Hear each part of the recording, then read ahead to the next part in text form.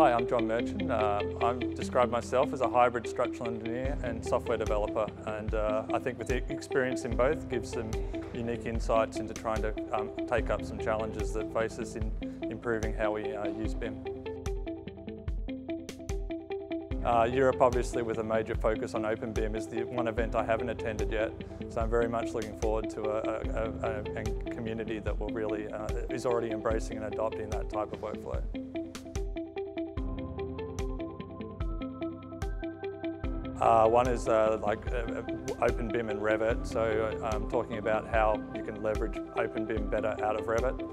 Uh, and the other was about um, object libraries and how object libraries can be uh, produced in a, in a, or utilised in a common way.